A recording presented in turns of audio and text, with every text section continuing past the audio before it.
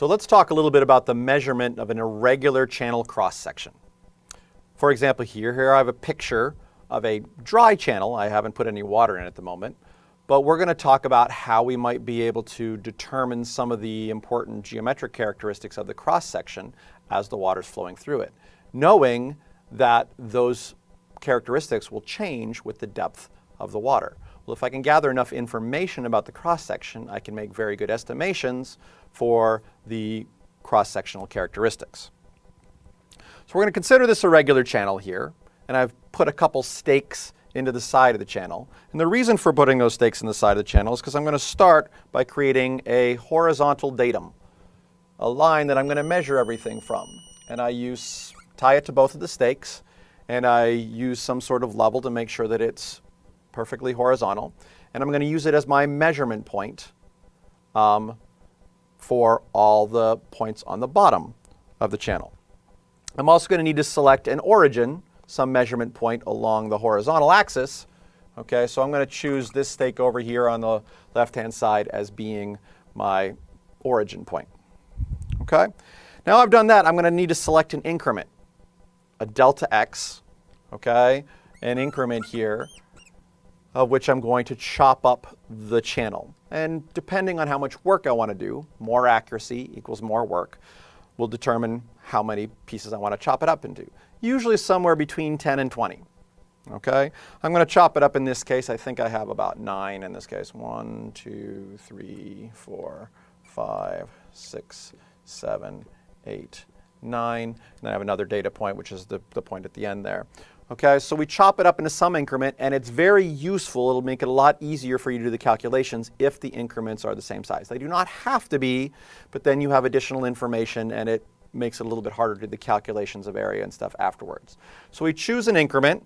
In this case, my increment is going to be 30 centimeters, not on the page here, but representing 30 centimeters in the reality that I measured this from. Okay, once I've selected that increment, let's go ahead and make a chart over here. Okay, and here's all my values xi, measured in centimeters. And I have increments every 30 centimeters or so. 120, 150. So let's see here, 0, 30, 60, 90, 120, 150, 180, 210, 240, and 270. So there's all the measurements that I would like to make. Now, we measure this horizontal datum up here. We're going to have a basis that's actually upside down. We're going to go ahead and create a bunch of measurements down in a direction downward from our datum. Notice this is the only way we really could do it because if we wanted to measure everything up, we would have to dig down into the ground to measure up to the surface. So realistically, we can only measure down from our datum here. So we're going to go ahead and measure a series of values here.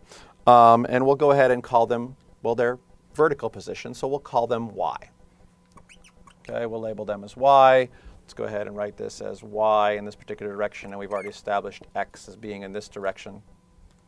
Okay, so let's go ahead and measure a series of values down. Now, if you're out in the field, what you're going to do is you're going to drop something that you know is vertical, maybe using a plumb bob or something, and get a measurement for that particular distance. All right, once it hits the surface. So we measure each of those vertical distances. I have a series of vertical distances that are roughly equivalent to the scale that I've drawn here to use as an example. And I'll fill in each of these numbers here, 26, 32. Okay, again representing each of these distances down from the datum. Now notice the datum was arbitrary. It doesn't have to do with anything about the stream itself. It was just some value that we picked that was roughly near the top, um, was higher than any portion of the stream we cared about. But it isn't the depth of the water. There's no water necessarily in the stream, or it's probably above any water that is in the stream. So it was kind of arbitrary. Well, we don't want to be completely arbitrary here. So what we're going to do is we're going to change our datum now and do what most people do in this particular case, which is move the datum down and establish the lowest point in our stream bed as being the new datum. That's going to be this point down here.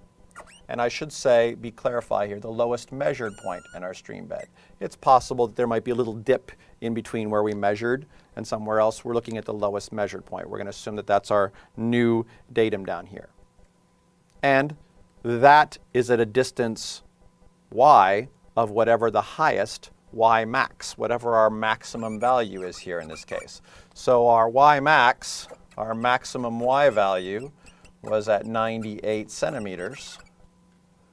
Okay, so now I'm interested, instead of having all these measurements down from my datum, I actually want a series of measurements that are going to come up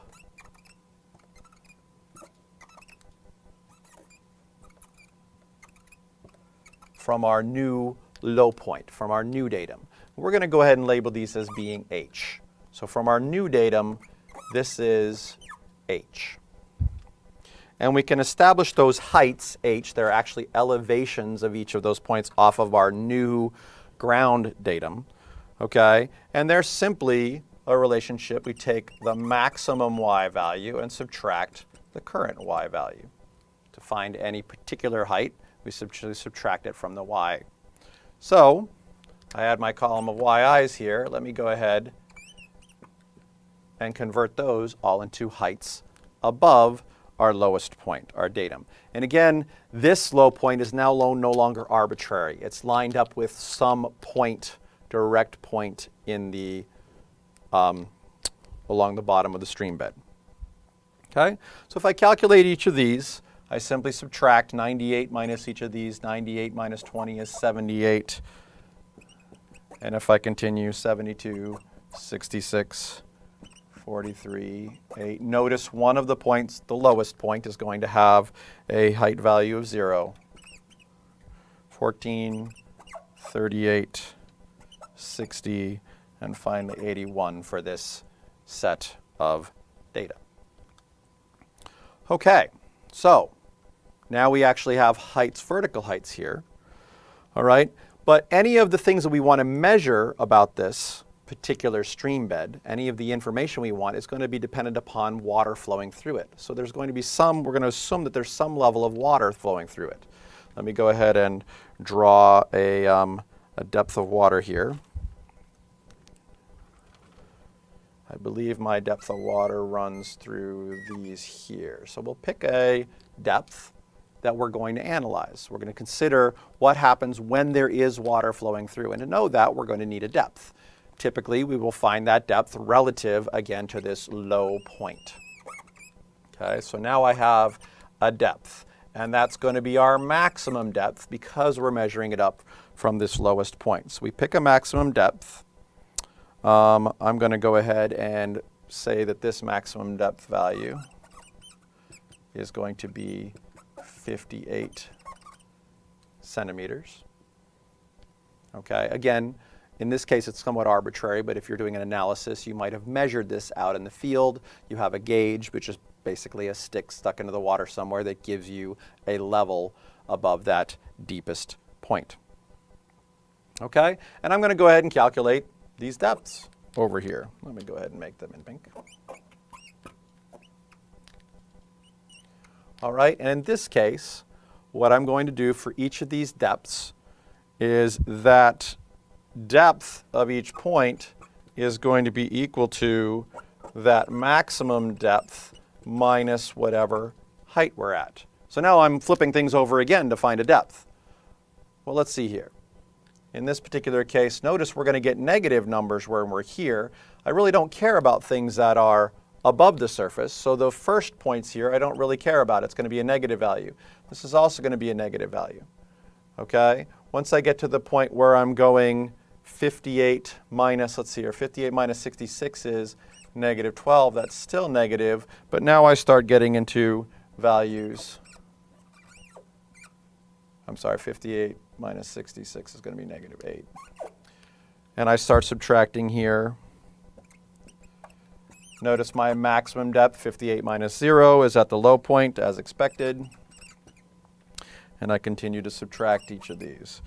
I am going to go ahead and actually calculate the last two here. Those are the ones that are right at the edge okay, that are located at the sides. Notice the other ones I don't care about, and I might not have drawn this exactly correctly. It looks like we're capturing one, two, three, four, five data points. One, two, three, four, five data points. Um, perhaps I'm a little high on that version there, but you're getting the kind of idea, hopefully. Okay, so now I have a series of depths that represent basically what's happening here. Actually, let me go ahead and draw this just a little bit lower. And we can talk about the depths that were measured here. One, two, three. There's our maximum depth is the fourth one. One, two, three. Oh, let's guess it's about the third one. Um,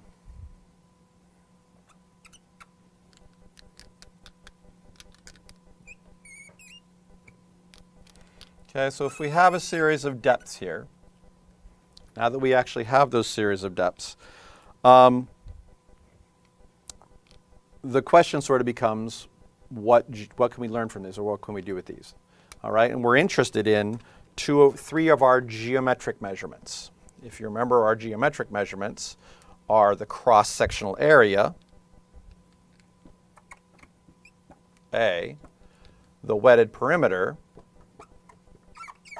PW, and then the hydraulic radius, which is simply the ratio between those two things, area divided by the wetted perimeter. And notice all of these things are going to be a function of the depth. Okay, they're all going to change. As I add more water, we're going to have greater area, we're going to have greater wetted perimeter, and we're going to have a variation in the hydraulic radius. So these are all functions of our depth D. So how do we go about calculating these things? How do we find the area? How do we find the wetted perimeter? Well, for the area, there's a relatively simple process that we can do here. We can look at each of these chunks and recognize that any particular piece here, any particular slice of my between two of these measurements can be approximated using a trapezoid.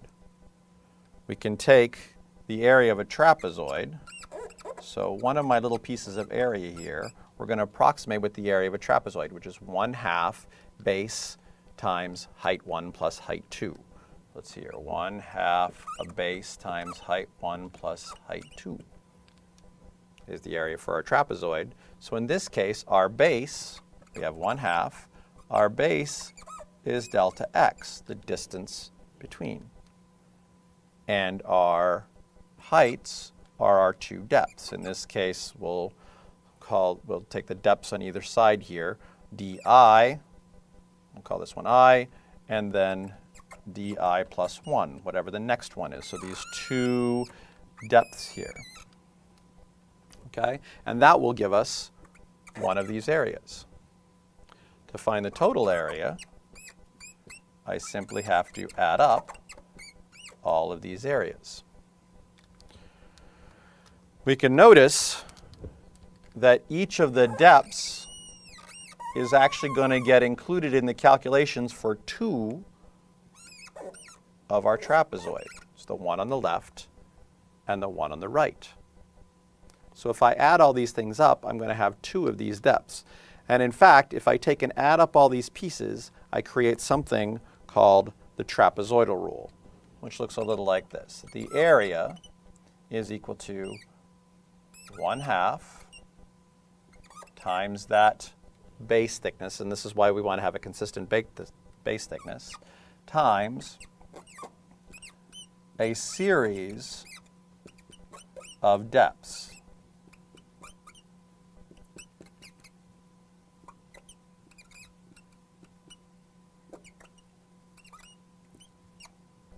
Notice this series is the sum of all the depths, but we count every, all the ones in the middle twice because they're used in each of my trapezoids. The ones in the end, we only count once. So this is a formula we can use, and this is called the trapezoidal rule. It's numerical integration, the idea that you can chop up any shape into pieces like this, and you count all the middle heights twice as much as you count the end heights. In this case, there's some question about what end heights we should actually use. You can make your own choices about how you do this. I actually recommend, because it's basically taking an average, I recommend using these negative values as the end heights, which is going to subtract a little bit. It is going to subtract a little bit from your overall area, but it does make for a reasonably good estimation. If you want to think about different ways that you can actually cut it off, perhaps you can figure out where it intercepts you can choose to do so, but you're not going to get a lot of additional precision um, out of the work necessary to do that. So that's how we calculate the area. We use something like the trapezoidal rule. To calculate the wetted perimeter, we recognize that each of these pieces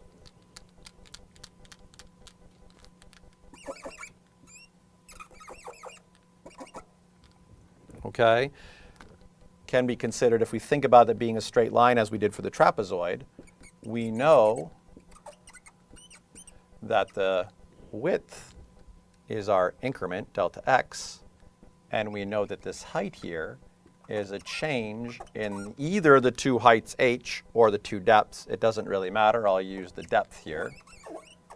Okay, the difference in the two depths. Well, the delta x stays the same for every one but the change in depth will change with each of our units. But all we do in that case to find the wetted perimeter is we're going to use the Pythagorean theorem, a squared plus b squared equals c squared, or in other words, this distance here, let's call this, uh, this little length, we'll call it s, okay, for a line segment. Each segment si is going to be equal to, each segment is going to be equal to the square root of delta x squared plus delta d squared. Okay, well for each of those, we sum them all up and we will get the wetted perimeter. Now I'm not going to do all those calculations here, but notice I would need to calculate the changes in distance for each of these pieces here. Okay, I have the delta x, that's the 30 centimeters, the distance between each of these here, in order to calculate those distances and then find these. And then you add them all up, and that gives us the wetted perimeter.